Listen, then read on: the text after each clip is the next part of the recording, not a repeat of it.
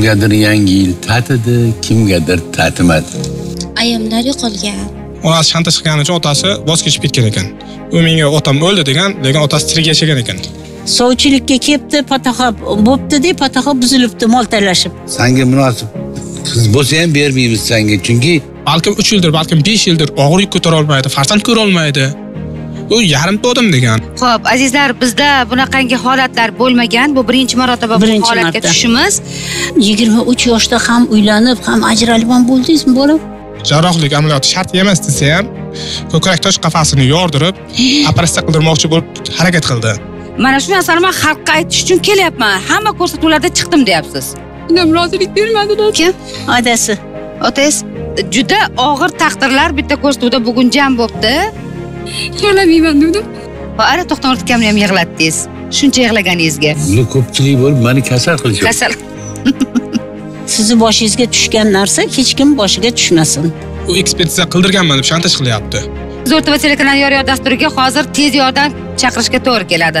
bugun igna yutdi Ertaga? lum yutib yuborsa nima qilaman Sizdan boshlandi o'zi bizni ezish.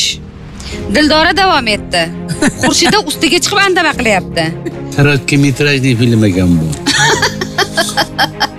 Bor olib kel shartiga ko'n o'qil degan tahdidlar qilinyapti. Bir ming bir yuzmi bir ming ellikmi shunaqa bo'ldi. Nechtasi qovushib ketdi turmush qurganlar 360 uch yuz tasi. oltmishtadan 360 oshdi. Siz uch yuz oltmish olti uch yuz yetmish yetti bo'lib ketib qolasizda xudo xohlasa bo'ladi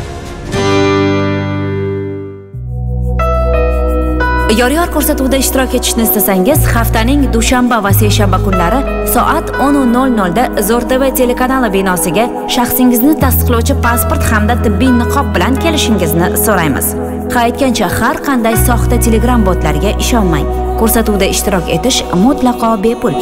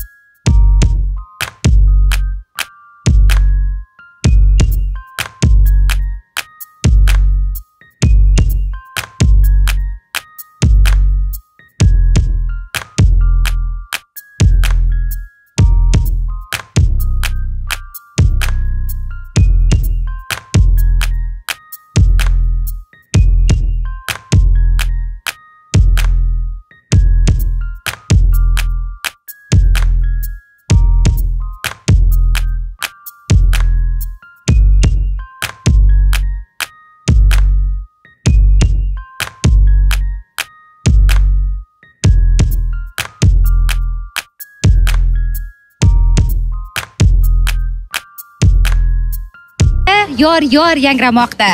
Ko'rdingizmi? Bergan va'damizga vafo bu. Demak, marhamat to'yiga.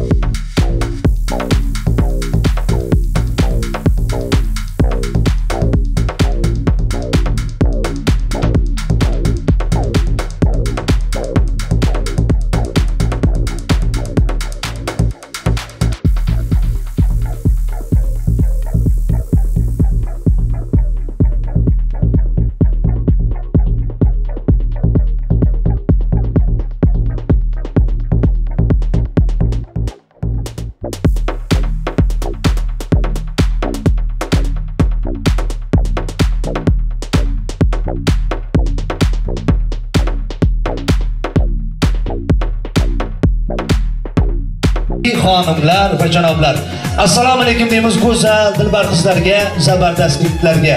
Assalomu alaykum deymiz yoshlari ulug' qadamlari qutlug' duolari mustajob bo'lgan aziz onalarimiz aziz otalarimiz. Xush kelibsizlar xushvaqt bo'linglar. Hamisha hamma vaqt bo'linglar. O'zbegimning to'ylarida albatta yoshi ulug' onaxonlarimiz duoga qo'l ochib yaxshi niyatlar bilan bazmni boshlab beradilar. Biz ham shu an'anaga amal qilgan holda yor yor ko'rsatuvining boshlovchisi professor omina karimovani davramizning to'riga taklif qildik. Hoji onamiz kelin kuyovlarimizga dil so'zlarini yaxshi niyatlarini bildirib davramizni ochib berdilar. Bugungi mana shu yoshlarimizni qutlayotgan jamiki bizni muxlislarimiz. Hammamizga to'y muborak bo'lsin. To'ylar muborak bo'lsin. Ertalabdan beri kelinlarimiz bular hammasi boshqacha bir kayfiyatda turishibdi. Biz esa aziz muxlislarimiz bergan va'damizga muvofiq bugun ona toshkentimizning poytaxtimizning qoq markazida joylashgan ko'kcha koshonasida zo'rtava telekanali yor dasturining va'dasiga muvofiq yor yor dasturida yor yor yangrayapti azizlar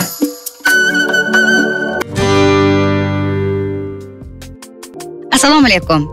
Kun ketidan oylar oylar ketidan yillar o'tib buni qarangkim yana mana shunday bir muazzam kunlarga yetib keldik. Mana shunday kunlarga yetib kelish barchamizga muborak bo'lsin deb bugungi dasturimizni boshlaymiz va duolar qiling ilohim ona o'zbekistonimizda yana bir oila barpo etilsin bugun. Assalomu alaykum hayot davom etaveradi. Xudoyo xudovonda hayotimiz har doim barkamol bo'lsin yaxshi bo'lsin. Hayotimizda hech qachon g'am ko'rmaylik. Assalomu alaykum aziz tomoshabinlar. Ha omina opa to'xtamurod aka buni qarangki mana biz e, yilni kuzatib yana yangi yilimizni kutib ham oldik. Har kimni uyida bu tantanalar bu bayramlar turlicha nishonlandi. Ammo qaysidir xonadonlarda quvonch yo'qoldi. Qaysidir oilalarda oilasini boshlig'ini yo'qotishgan. Ayoldir erkakdir.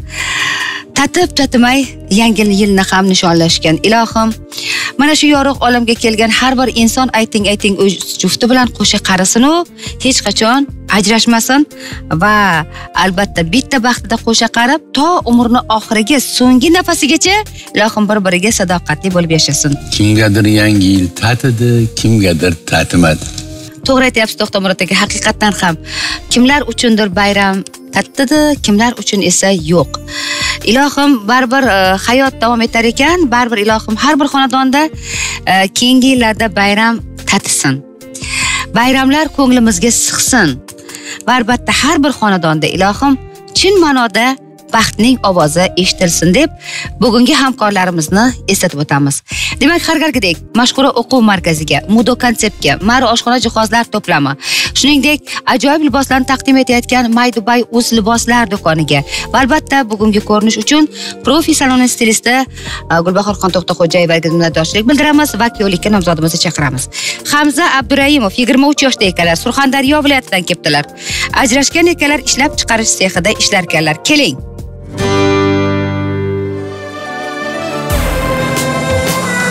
Hamza abduraimov 1998 yil surxondaryo viloyati qumqo'rg'on tumanidan arxitektura va qurilish kasb hunar kollejini tamomlagan. Hozirda xususiy ishlab chiqarish korxonasida faoliyat yuritadi.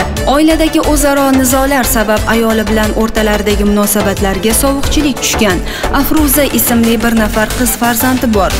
Yolg'onning umri qisqa degan so'zlarni o'zining hayotdagi shiori deb biladi.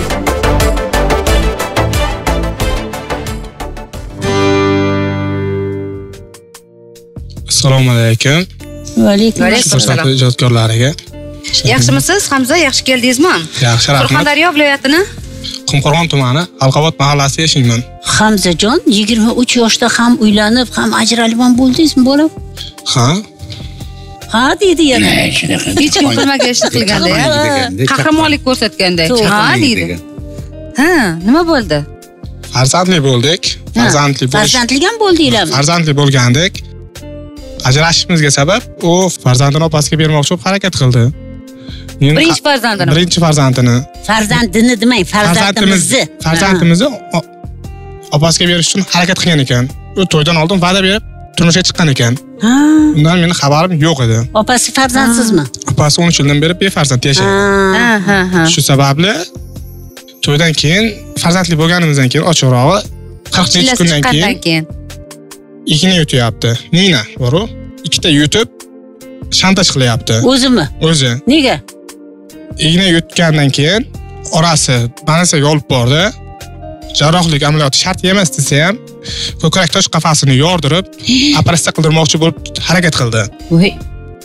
Magnit yuttirsa bo'ladi suyuqlik ichib uch kunda tushadi degan doktor xulosa berdi. Ha. Yo'q men operatsiya qildiraman deb uyimga odam yubordi.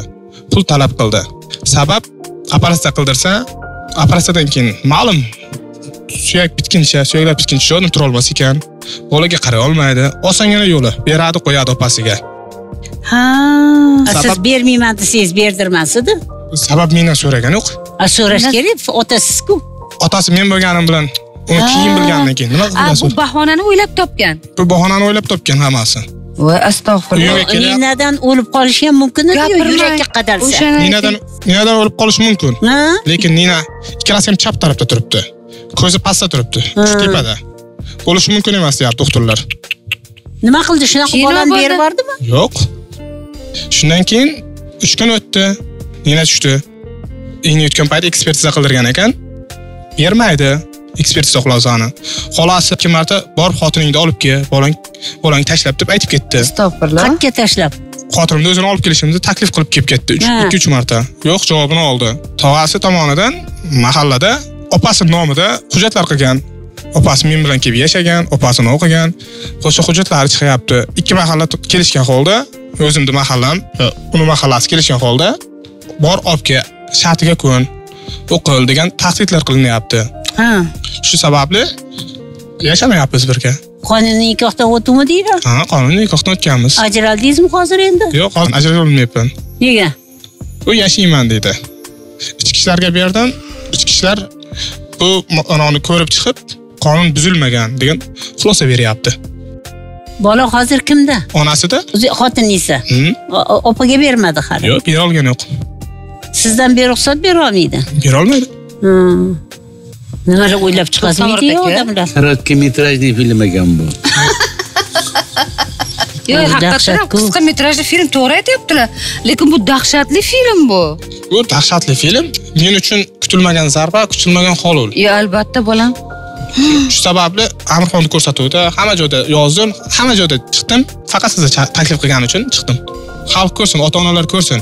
Nima uchun kuyovga beradi qizini beradiyu qizini uyiga xo'jayinlik qilib bolasini olib boshqaga beradi nima uchun birovni uyiga borib xo'jayinlik qilishga haqqi bormi haqqi yo'q bola sizniki qonun bo'yicha Men- Men tushunib oldim bu yigitni. Hmm. Bu demak mushtumi bunikidan kattaroq ekan u tarafda. Bu bolani hozir ajralmagan ish ko'rmayman deyishinglar ham mumkin. Chunki ko'rsanglar ham mumkin emas. Endi boshqa hech qanaqa ilojimiz yo'q. Bu yigit o'tirib tursin shu yerda. yo'q bu butun dunyoga ibrat bo'ladigan holat birinchidan xotin o'lim darajasiga yetishi mumkin edi. O'sha agarda xudo ko'rsatmasin nina yutgan nina yurakka borib qadalishi mumkin edi. Voy shunday omin opa yo'q bo'lgan shunaqa o'lganlar ham bor. Xalq yechishsin xalq ko'rsin ota onalar nima uchun ibrat bilyapti? Onasi shantajlikni o'rgatish kerakmi? Yaxshi narsani o'rgatish kerak onalar. Hamzajon siz yaxshi niyat bilan uylandingiz turmush qurdingiz bitta farzandli bo'ldingiz. Ularni niyati butunlay boshqa ekan demak ularni turmushga chiqishini asosiy maqsadi bo'lajak bolani akasiga opasiga berish. Shu niyat bilan turmush qurgan ekan. Buni isbotlab bera oldingizmi? Agar siz ajralmoqchi bo'lsangiz turmush qurish uchun emas. Mana shu shu uchun degan agarda fakt bo'ladigan bo'lsa siz uylanmagan darajada bo'lishingiz ham mumkinda birinchidan u ekspertiza qildirganman deb shantaj qilyapti. Ekspertiza qildirish uchun misol uchun uchastkovoydan mahalladan ruxsat bo'lishi kerak. Lekin mahalla ham uchastkovoy ham men u narsa uchun ruxsat berganim yo'q deyapti. Lekin qog'ozlari bor. Nina yutganlik haqida aka. Qaysi ona? Misol uchun o'zini jigarini yordirib anaqa qildirishni xohlaydi bunday olganda chalajon qilib tashlashni xohlaysiz xohlaysizmi xudo asrasin o'zingizni bolangizni eshitib chalajon qilib tashlashni xohlaysizmi u degani balkim uch yildir balkim besh yildir og'ir yuk ko'tara olmaydi farzand ko'ra olmaydi u yarimta odam degani. Yarimtadan ham kam. Yo bu o'gay qiz emasmishku yo'q. Qanaqasiga? Bitta qizini farzandli qilish Baxtli uchun qilib, farzandli. Birovni bolasini olib berish uchun ikkinchi qizini bebaxt qiladi. O'lim darajasigacha yetkazib man tushunolmadim buni haqiqatdan ham e. Bitta farzandi baxtli bo'lsa bunisi baxtsiz bo'lsa. Shuni aytaman ho'p mayli hamza endi nima bo'lgan bo'lsa bo'ldi lekin siz ajrashmagansiz-ku. Menga buni shantajlari jonga tegdi. Ha. Necha yildan beri yashamaysiz sakkiz oy bo'ldi. Yetti oy bo'ldi sakkiz oy. Debman yetti oydan beri yashamayman. Men birga yashaylik bo'ldi hammasini unut dedim. Yo'q. U unutishda emas undan battar avjiga olishda xohlaydi men onasini tilxati bor. Men shu shu nevaramni olib ketyapman. Nevaram bilan qizim yaxshi bo'lsa olib kelib qo'yaman dedi. Yo mayli deb besh oy kutdim. Hmm. besh oy u hazilakam muddat emas. Besh oy mobaynida undan battar qildi. U yolg'on yashiklaridan tashqari undan battar zulm o'tkazildi. Ruhiy tarafdan bosim o'tkazildi. Tushunarli. Siz oilada ota onangiz bormi? Ota onam bor. To'y qilish oson bo'lmagandir har holda? To'y qilish oson bo'lmadi. Misol uchun o'z bola tug'ilguncha bo'lgan xarajat ham oson bo'lgani yo'q xarajatga kelib taqalayotgan bo'lsa hamma narsa o'ziga yarasha mashaqqati bor. Ha ha. Shu narsani misol uchun mashaqqat mashaqqat chekkan odamdan ruxsat olmasdan shunday shunday hal qilib ketolmaydiku hech narsani. Yigirma yoshda uylandingizmi? Yigirma bir yoshda uylanganman. Ho'p. Bolaman. Haqiqatdan ham e, bu qisqa e, e, badiiy filmimiz hozir mana shu yerga kelganda poyoniga yetyapti azizlar. Nima bo'lganda ham haqiqatdan ham to'xtamurod aka aytganlaridek bu haqiqiy hujjatli badiiy film bu. Lekin men bitta narsaga hayron qolyapman rostdan ham nahotki bitta qizni baxtli qilib bittasini baxtsiz qilish mumkin? Shu darajada nina yutishgacha borsak xudo ko'rsatmasin. Bu, yigitni ota onasi nima deyayotgan ekan? Man qiziqtirayotgan. Buni ota onasi boru? Ha. o'zi sandan kattalari bormi aka ukalaring yo'q mendan kattalari yo'q. Demak ota onang yosh hali. Ha, ota onangiz nima deyishyapti rostdan ham yashaysanmi yashamaysanmi bo'ldimi? Ota onam menga ixtiyorimni qo'yib bilgan ha menga bu shantaj misol uchun? Bugun igna yutdi ertaga lum yutib yuborsa nima qilaman? Yo o'zini osib yuborsa. Men xudo ko'rsatmasin ne- nezashda yo'q joydan qamalib ketaman. Ha ha ha. O'zi o'tgan marta qamalishgacha bordi почти hozir nina yutganda sizni ayblayapti aybladi. Nima deb ayblaydi sen ruhiy boqsuv o'tkazgansan lom yutolmaydi lom yutsa yiqilib tushadi. Maylida endi qo'pol qilib boshqa yo o'zini o'zi osib yuborishi mumkin o'ldiraman deyishi mumkin. Shantajda bu tahdid shantaj. deylik o'ziga shantaj ha. qildi deylik. Shantaj qilyaptida to'g'ri Mayli, aytyapsan ha. hamzajon. Ukam senga maslahat. Bu yerda sud emas prokuror emas tergovchi emas. Biza odamlarni hayot faoliyatini ko'rib chiqib shu turmushi yaxshi bo'larmikin deydigan odamlar biza endi saniki hozir biz uchun muammo narsa. Tepasida bo'lmaganmiz hech qanaqa qog'ozimiz yo'q isbotimiz yo'q. Bu uchastkovoying ham gapiraveradi. Boshqaga ham gapiraveradi. Hech kim narigi mahalla komissiya bunaqa qilinglar bunaqa qilinglar desa shunaqa qilaveradi lekin san hali yosh ekansan yigirma uch yosh. Sani otang kamida qirq yoshdan oshgan bo'lishi kerak. Onang bor. Ular harakat qilish kerak. "Ey, bolamni nima qilyapsiz salla salla san san nimaga uchastkada bunaqa qilding? U bu deyish kerak. San xabar ekanlar deb ular bilan borishing kerak.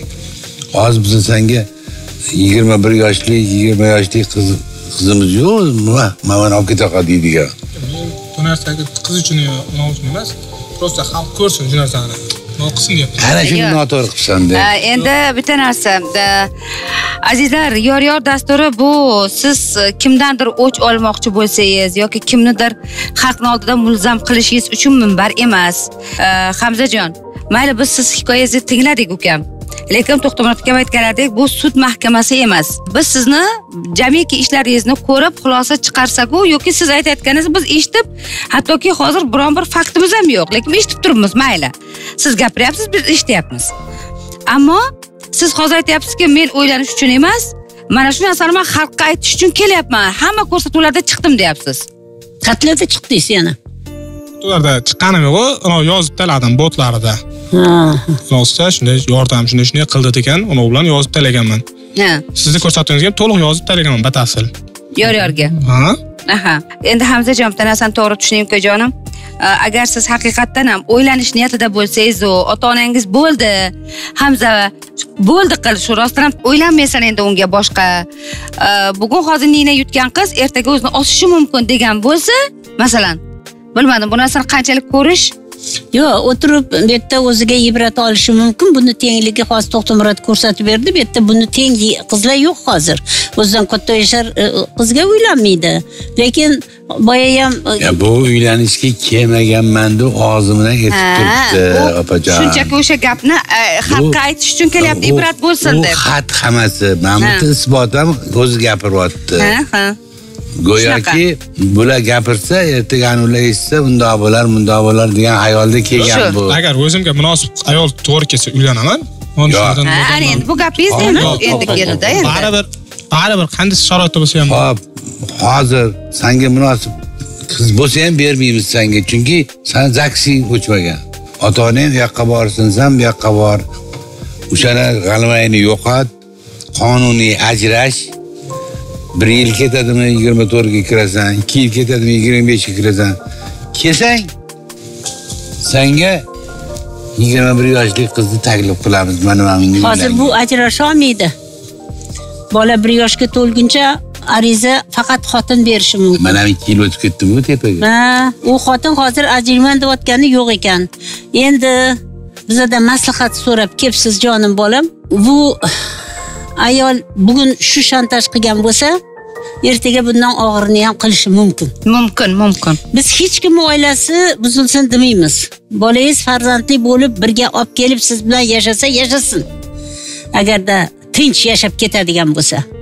Lekin bolani berib yuboraman undan keyin san bilan yashayman sanga yana tug'ib beraman deydigan bo'lsa bu o'zingizni nimangizga havola. Tushundingizmi bu yerda biz to'xtamurod akangiz to'g'ri aytyapti. Sud jarayoni emas mahkama emas. Bu yerda faqat biz qizlarni ko'rasiz. Sizni hayotingizni eshitdik mana lekin bu og'ir vaziyat. Sizni boshingizga tushgan narsa hech kim boshiga tushmasin. И man u ota onani ham hozir tushunmadim. Farzandini o'lim darajasiga yetkazib nina yutsang yut operatsiya qil faqat bolangni opangga ber deyish juda og'ir. Haqiqatdan ham ho'p ha. U otasi talab ketgan. Onasi shantaj qilgani uchun otasi voz kechib ketgan ekan. U menga otam o'ldi degan lekin otasi tirik yashagan ekan. Boshqa ayolga uylanib. oilasini o'zida O'zi hamma illat ekan. hamma narsa shundan. Shuning uchun shu sababli boshqa topib tinch uylansam tezroq ajrashaman tezroq qutulaman. Peshonang sho'r ekan debka endi hammani ham peshonasida. Mayli xudo xohlasa yaxshi bo'lib ketadi. Endi hamzajon shu san boshqa iloji yo'q. San ajrashib yuz foiz keyin kelmasang bu yerda foydasi yo'q g'alvani ustida turgan bolaga agar yigirma bir o'n sakkiz yashar qiz bo'lsa ham tegaman demaydi Xo'p.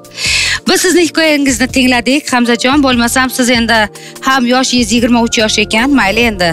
O'tirib hozir biz chaqiradiganlarni hikoyasini tinglaysiz. Ammo bu degani e, bularni sizga biz taqdim etmayapmiz.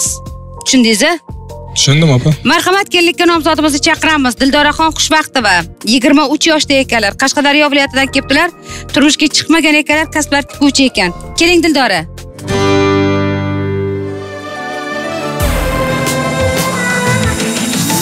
Dildoraxon xushvaqtova 1995 yil qashqadaryo viloyati qamashi tumanidan turmushga chiqmagan. Bir yildan beri toshkent shahrida ijarada yashaydi. Qarshi pedagogika kollejini boshlang'ich ta'lim yo'nalishi bo'yicha tamomlagan. Hozirda savdo sotiq sohasida faoliyat yuritadi. Nima bo'lgan taqdirda ham hech qachon tushkunlikka tushish kerak emas degan so'zlarni o'zining hayotdagi shiori deb biladi. Bo'lajak turmush o'rtog'i ichmaydigan uyim joyim deydigan mas'uliyatli inson bo'lishini istaydi.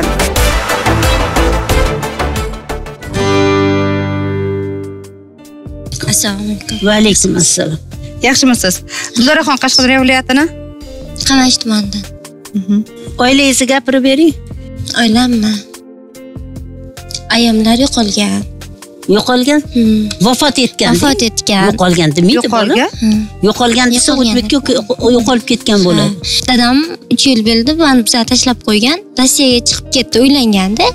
Xotini bilan yashaydi. Hozir endi yaqinda xotini bilan uy ko'taryapti. Отдельно yashaydi o'zlari. Hmm. men anchadan beri bir ikki uch yildan beri akamlar bilan turaman. Yangam akamlar bilan yashayman. Bitta aka bitta sizmi yo yana bormi bolalar bor ikkita o'g'il Qamashida ikkita turadimi hozir katta akam bilan toshkentda yashyapmizda kvartiraga toshkentda yashayapsiz ha ijarada. Toshkentda ijarada yashyapmizda aha hozir. aha. Nechtasizlar beshtami ikkita shunaqa o'g'il ikkita qiz to'rttamiz. To'rttasizlar bitta siz qoldingiz. Ha bitta men qolganman. Hmm. dildora nima deb o'ylaysiz endi? Hayotda hamisha adashmaslik uchun birinchi o'rinda nima qilish kerak? Hayot mani hamma hayotimni ko'rib kelyapman faqat to'la to'kis baxtli tinch xotirjam yashashni yo'lga qo'yib olishim kerak deb o'ylayman. Shu uchun nima qilish kerak? Harakat. Yaxshi yashashga harakat qilish kerak. Har bitta insonni chuqur o'rganish kerak a aytaylik birinchi e, borgan oilangizda dastlabki bir oy faqat o'sha insonlarni ularni hayotini mukammal o'rganaman. Ularni oilasini. Shunga qarab men ham moslashamanda yillar yillar kerak kerak ular menga moslashishiga. Biza biza hozir ham o'tirib sizga moslashamiz. gapirmang. Shuncha yil yashagan odamlar hali biza moslashganimiz yo'q-ku. shunday. Ha.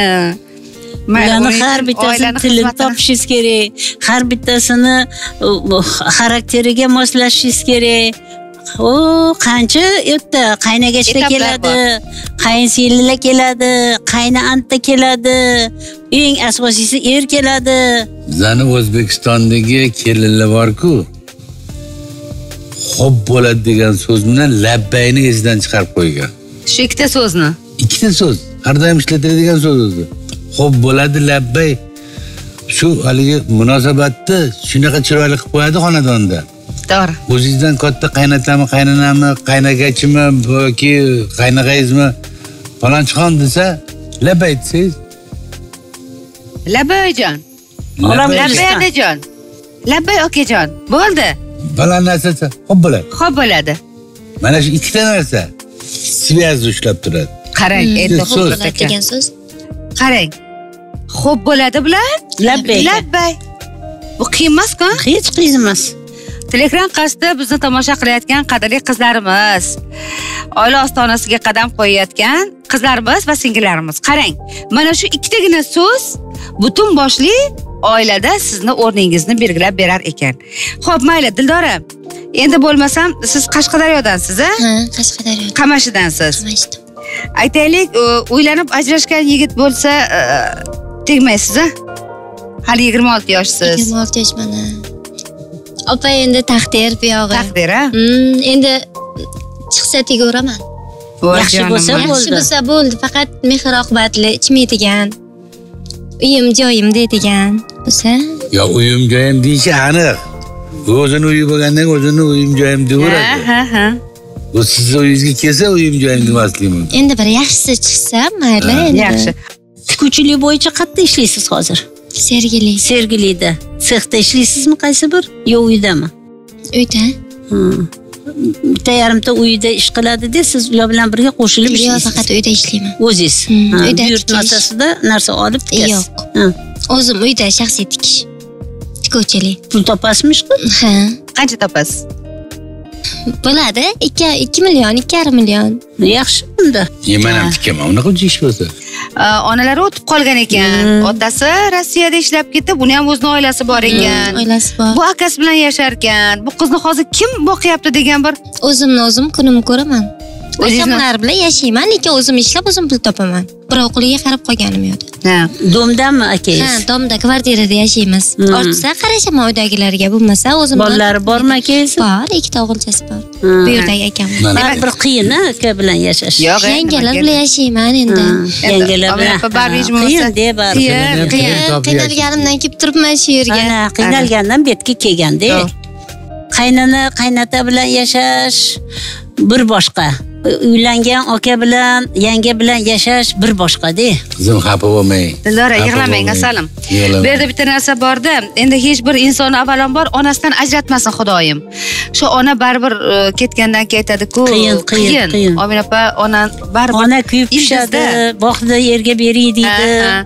Endi buni bitta qilig'i yangasiga tushsa to'xtamurod aka ikkinchisi akasiga yoqmaydi. Akasiga yoqqan narsa yangasiga yoqmaydi. Ikkalasiga yoqqan narsa bunga yoqmasligi mumkinda. Har xil vaziyatlar bo'lishi mumkin. Yoki ko'ngil noziklashib qoladimi har xil vaziyatlar bo'ladi. Dildora yig'lamaymiz qizim. Azizlar ekraningizda dildoraxon xushvaqtovani ko'ryapsiz. Qashqadaryo viloyatini qamash tumanidan kelganlar oilada to'rt farzand turmushga chiqmagan. Voliday muhtaramalari qazo qilganliklari bois bular ayni damda akalari bilan toshkentda ijarada turadilar. Lekin ota mashhur o'quv markazlari ajoyib sovg'alarimiz Mana, qizim mana. yig'lamang yuragimni qon qildingiz biz ham hamma yig'laganlarni qatorda yig'layverib yig'layverib o'zimizni e, mazamizni qochirib qo'ydik. Va albatta mari oshxona jihozlari ham sizga. Va ana to'xtamurod akamni ham yig'latdingiz shuncha yig'laganingizga yo'q bular yig'latmayapti bular ko'pchilik bo'lib mani kasal qilishyapti kasal. Hammasi yaxshi ho'p bo'ladi. Dildora yig'lamaymiz a endi qizim. Bo'ldi. Xudo xohlasa biz sizni to'yingizga boramiz a boramiz Albatta. xudo xohlasa. sog' bo'ling. Omon bo'ling. yaxshi qoling. Biz esa keyingi kellikka nomzodimiz chaqiramiz. Xurshidaxon qurbonnazarova yigirma besh yoshda ekanlar. Surxondaryo viloyatidan kelibdilar ajrashgan ekanlar farzandlari yo'q ekan. Dehqon ekanlar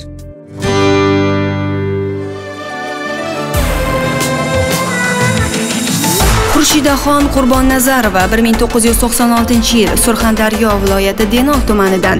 Xurshidaxonning aytishicha turmush o'rtog'i ikkita xotin ustiga aldov yo'li bilan unga uylangan. Yolg'on oilasining buzilishiga sabab bo'lgan. Farzandi yo'q halol osh pishib chiqar harom osh teshib chiqar degan naqlni o'zining hayotdagi shiori deb biladi.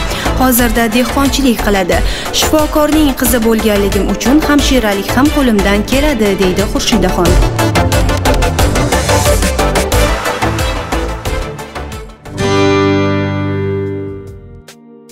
assalomu alaykum va alaykum salom Alaykum assalom. xurshida surxondaryoni qayerdansiz? Denov tumani. Forish emasmi mabodo yo'q yo'q. A? denov tumani. Denovdanmi sakkizinchi mart yangiobod tumani. Ho'p nechta farzandsizlar oilada? Beshta. Mhm. ota ona bormi? Bor. Odam vrachlar o'zi. Tez yordamga. Uylarimizni katta bo'lsada ishlaydilar. Ona? Onam oddiy bekasi.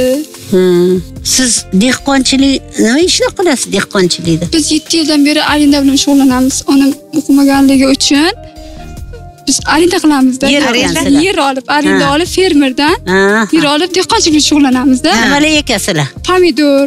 Faqat pomidor bilan огородimizga kartoshka piyoz egamiz lekin faqat pomidor bilan asosiy pomidorni qaysi turini ekasizlar andur lajayin madira tushunarli hamshiralikdan ham xabaringiz bor ekan. Ha.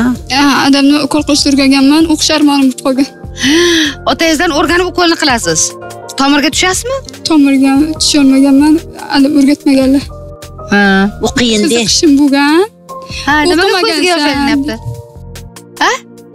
yig'lamayman dedim hop yig'lamayman nimaga yig'ladingiz? Nima sizlar bu yoqqa chiqqandan keyin stullarni tekshirib ko'rish kerak. yo'q, yig'lamayman. yig'latadigan biror Yo'q, narsasi yo'qmi? chunki odam ko'rsa xafa bo'ladi. Yo'q hop nimaga yig'lash kerak qizim? Kim biladi kelganingizni? Onam biladilar nima uchun yig'layapsiz? Onam rozilik bermadilar kim? Otasi. Otangiz nimaga? Bormagin dedilarmi? Vrach ekanlar oliy ma'lumotli ekanlar nimasi yomon? keladi dedi bunga bizda do'stim dushman ko'p bo'lib keyin odam erimim turmushga chiqib yolg'onchi bo'lib chiqdi. Ha ajrashganingiz ha ajrashmasdan meros talash bo'lib xotiniga sharoit qilib bermagandan ketib qolgan ekan. Ha. Keyin mening ham bir mazam qochdida orada sog'ligim bo'lmaganligi tufayli turmushga chiqolmadimda xullas kalom keldi hamma lekin keldi. Ko'chada ko'rib bo'lmadimi? Nasib sog'ligim o'zida o'zi qochdi. Eshikdan so'rab keladigan 19 yoshimda to'satdan bilmayman biz ko'p mehnat qilib hammani og'ziga tushdik. O'sha obro'li odamni o'qitib, onasi mehnatkash deb og'ziga tushdik. Mahalla fuqarolari biladi, nomlar o'ylaydida. Bizni ko'rolmas qilib o'sha kasalimda kelgan sovchilarga qiz kasal deb tarqatdi. istiqso bo'laverdi ko'chamdagilar turmushga chiqib ketaverdi chiqib ketaverdi ota onam yuragi siqilib ketdi bugun tezroq tugatmasak hozir o'rtoqlar o'rta va telekanal yor yor dasturiga hozir tez yordam chaqirishga to'g'ri keladi. Yo'q, sababi omila opamni ham mazalari qochib qolyapti to'xtamurod akamni ham va maryam. Muhabbatxon, men tushunmadim. Bu qiz to'y qilib turmushga chiqqan. ha to'y bo'lib turmushga chiqqan buni kasalvon deyishgan. Shu bilan shu bilan sovchi kelmagan bunga. Sizda qanaqa kasallik bor edi? Menda aytyapmanku qandaydir toshmacha toshib ketdimi? toshib ketdi. Asabdan bo'lganda. tuzalib ketganman soppa sog'lomman. O'zi menga mahallalarim ham jo'natgan payt Xullas qancha yashadingiz u yigit bilan? Bir yilda Bir yil yashadingiz. Bola bo'lmadi. ajrashganga bir yil bo'ldi Bola bo'lmadi. Shundan ajraldingiz. Bo'ldi, tushunarli. xo'sh hamza. Sizdan boshlandi o'zi bizni ezish. Dildora davom etdi.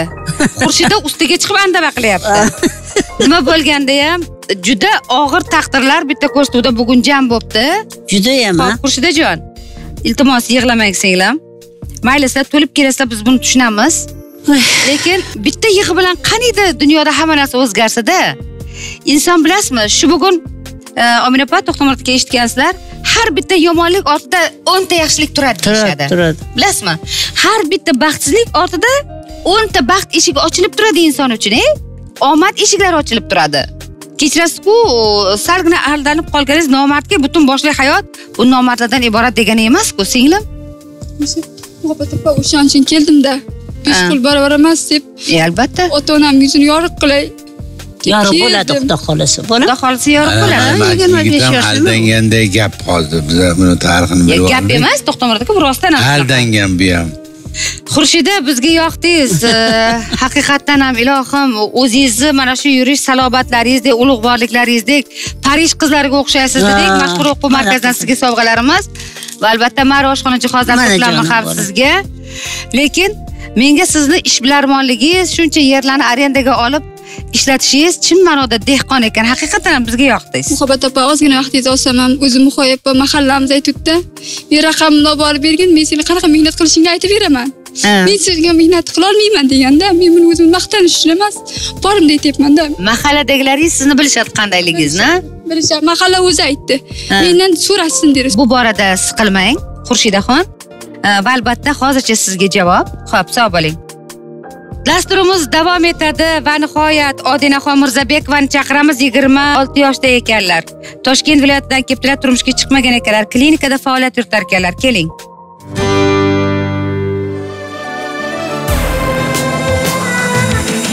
Odinaxon mirzabekova 1992 yil toshkent viloyati yangiyo'l tumanidan.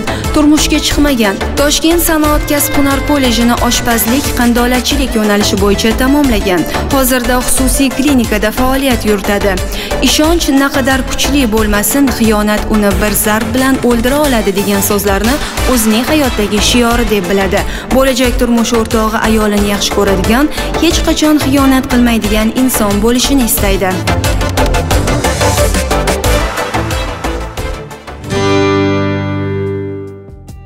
Assalomu alaykum. Va alaykum assalom. Yaxshi keldingizmi qizim? xudoga shukur toshkent viloyatini? Yangiyo'l.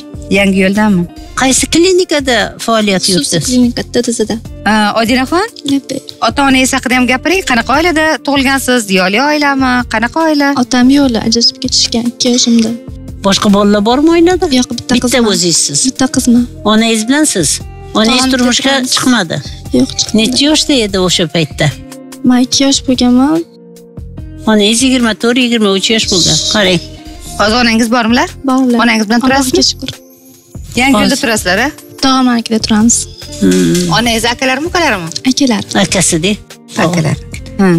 Onangizni o'zlarini ham uzatish kerak ekan. Onangiz necha yoshdalar?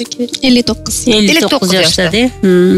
Ota xabar olmaydi, ko'rmaydi. yo'q ularni o'zini oilasi bor Yo'q, siz ko'rasizmi otangizni? Yo'q. Ko'rmaysiz. tojikistonda ular Tojikistondami?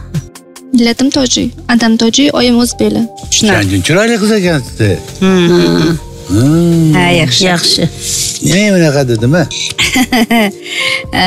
demak klinikada sizni o'zingizni faoliyatingiz nimadan iborat hozircha farroshman sanitarka ha o'tgan yil o'qishga kirmoqchi edim kira olmadim bu yil xudo xohlasa kiraman kollej tugatdingizmi? Kollej tugatgan Qaysi birini? sanoat kasb-hunar kollej. Ha, o'sha sohada ish topolmadingizmi olmadim. Ha, onangiz biladilar bu yoqqa kelganingizni. Biladilar. Sovchilar keldimi bor. Hmm, o'tgan yili patax ham buzilgan. Shunaqa pataqa ham buzildi? Hmm. nimaga? Uydagilar bilan ularni oyisi gaplar qochib qolibdi shuning uchun. Mo'ltallashibmi ana. Ana. Bo'pti sovchilikka kelibdi pataqa bo'ptida pataqa buzilibdi mo'ltallashib buni qilmading buni qilgin deganda bilaganman ha. E, bo'ladida shunaqa O'tgan qilayotgan paytda kuyovga buni qilgin deydi. Man buni olib kelgin deydi. savol beryapman bu yerda moltalashayotgan ha shu ha ana shu bitta pataqa buzildi ungacha kelganlar. Bo'lmadimi? O'zi Og'ir. sizni qidirib yurgan uylanmagan yigitlar ham bor shahar to'la bitta yangi yo'lda emas toshkent to'la qizni qidirib yurganlar bilmaydi hech qaysi sizni borligingizni. Hmm. ertaga televizorda ko'rsa hammasi yugurib keladi adresini beringlar telefonini beringlar. Telefoninglar beringlar deb ana baxtni ko'rasiz keyin qo'shaloqlab kelishini. Bu yerda mana opam biladilar opa nechta dedingiz mingdan ortiq odam kelgan bo'lsa mana shu bir yil bir ming bir yuzmi bir ming ellimi shunaqa bo'ldi. Nechtasi qovushib ketdi turmush uch yuz qurganlar oltmishtasi uch yuz oltmishtadan oshdi. Siz uch yuz oltmish olti uch yuz yetmish yetti bo'lib ketib qolasizda xudo xohlasa bo'ladi. Odinaxon bo'lmasam sizga mashhur o'quv markazidan sizga ajoyib sovg'amiz bor. Bolam ilohim mashhur opamdek baxtli bo'ling. Va albatta mari oshxona jihozlari to'plami ham mana. Siz uchun oshxonangizda yayrab yashnab ishlating. Onajoningizga bizni nomimizdan salom. Sog' bo'shing nazmonet rahmat. Rahmati kalon hamza marhamat. Endi sizdan eshitamiz. Man hamza uchun man gapiray marhamat gapiring. Hamza o'zini shu viloyatdoshi haligi qizimizni taxminan ko'ziga iliq oldi. Hozir aytaman Man- xurshidani. Borib gaplashaman dedi. Gaplashsin. Keyin dedi masalani hal qilamiz dedi. Gaplashib ko'ring mayli. Endi gaplashsang bolam deyapman to hali kitob hisob kitoblaringni to'g'irlaguningcha ozgina u ham sabr qilib turadi. Albatta. Telefonini olasan gaplashib turasan. Bu yoqni hal qilganingdan chatta borasan yugurib borib olib kelasan. Yosh farq hech narsa qilmaydi ikki yosh. Ko'rinishi yosh buni eng asosiysi eng asosiysi. Hamzajon oxirgi marotaba so'rayapmiz. Chunki xotiningiz ertaga davo qilib kelmaydi duo qilib kelish uchun unga sabab bormi? Men uchun sabab yo'q deb o'ylayman. Misol uchun uni aytgani uni degani bilan yashab bo'lmaydiyu hayot. ha ha ha. Hamzajon baribir bu qiz agarda xo'p degan taqdirda ham siz qonuniy ajralasiz va qonuniy bunga uylanasiz. O'shandagina biz rozilik beramiz. albatta. Albatta hozircha gaplashib ko'ring mayli insonlar bir yil yuradi ikki yil yuradi bir birini sinaydi Xo'p, Hamzajon bo'lmasa chiqingchi, marhamat gaplashingchi Xurshida bilan. Xo'p, azizlar, bizda bunaqangi holatlar bo'lmagan. Bu birinchi marotaba bu holatga tushishimiz. Ee, sababki e, oilasidan hali ajralmay turib ishni ko'rmagan edik, lekin bu ishlarni ko'rayotganda ham boshqada ham mundoq qarasangiz insonni qalbi ko'ngli omina opa shaxsan e, men masalan bu oila bilan qa- boshqatdan shu yashamasligini tarafdoriman. Mana xudo ko'rsatmasinda ikkalasi kelishmadimi oxirigacha kelishishmaydi. Yo'q man bittasini bilaman. Shunaqa shantaj qilgandek qo'lini qirqqan boshqa qilgan axir hoy yashama Ha. chunki ertaga o'zini o'zi o'ldirib yuborsa hech narsadan hech narsa yo'q qamalib ketadi. To'g'risini aytsam boshim og'rib qoldi. Har to'rttalasida juda yam og'ir savdo ekan to'g'risi. E, endi ayting ilohim hamza bilan xurshidani ro'zg'ori o'xshasin. E, marhamat xulosa qilaylikchi. Endi dildora ham mana turmushga chiqmagan hammashidan hayronman endi buni. Ota onasi inoq totuv yashaganda ikkalasi birgalashib shu qizni yerga berardi boshqa qilardi. Endi baxtini topsin. Endi xurshidani balki shu hamzaga hozir moyil bo'lib qolar. Buni poylab turaylik. Mana shu odinaga rahmim keldi og'ir vaziyatda yashasa kerak deymanda ha. mayli qani yoshlarimiz gaplashib bo'lishdi. Kelinglarchi hamzajon? Kelinglar.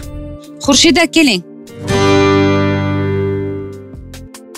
Oldin biz qiz bolamizdan so'raymiz. Nima gaplar bolam? Bu yigit mendan ikki yosh kichkina ekan. Nima qilibdi ho'p. Kichkina bo'lsa. Kichkinaligi mayli ayoli bilan zaksi qilmagan ekan Yo biz gaplashdik, qirqilgandan keyin siz bilan gaplashadi. qarang meni birinchi turmushim sakkizta qirqish arafasiga kiruvdi mahallalar bilan. Alimindan qochib olmaganda ha. alimindan qochgandan shuni ajralib ketdikda ha. Ham qaynsinglim meros talash bo'ldi? Bir marta kuyganimni ko'tara olganman muhabbat opa. Ikkinchi marta kuyganimni ko'tara olmaymanda men shunday deb qasam ichganman yor ko'rsatuvga chiqsam avvalambor xudoni xohishsizlar bir sabab chiqsin yo xotini o'lgan bo'lsin. Ha. Asosiy sabab bo'lib men savobli ish qilmoqchiman tushunyapsizmi Bolasi bo'lsa ham mayli. bolasi bo'lsa ham Hmm. faqat xotini tinch oila kerak tinch muhit kerak ko'p kelayotganlar xotini o'lgan bo'lsa